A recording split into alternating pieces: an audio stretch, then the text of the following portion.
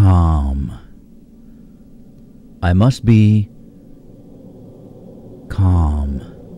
I shall will my shaky hands to be still. My racing heart must keep its urgent message to itself, for no one would understand. Insanity. The world moves in slow motion.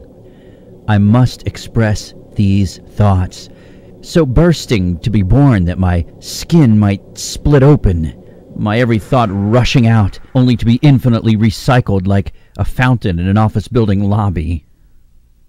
Peace. I know no peace. When my stream of consciousness becomes a tidal wave, ready to wash away lives and property long believed to be safely bolted to stone foundations on high ground.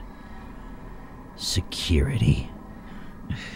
My mind is a killing machine, in remission only for as long as it takes to create a false sense of safeness for the grazing Zen herd.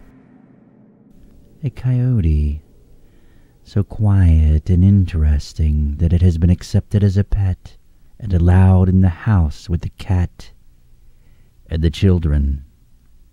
A snake, sleeping in the sun, so hypnotic and seductive because it has never coiled or rattled. I look in the mirror and it doesn't show. It doesn't show. It doesn't show.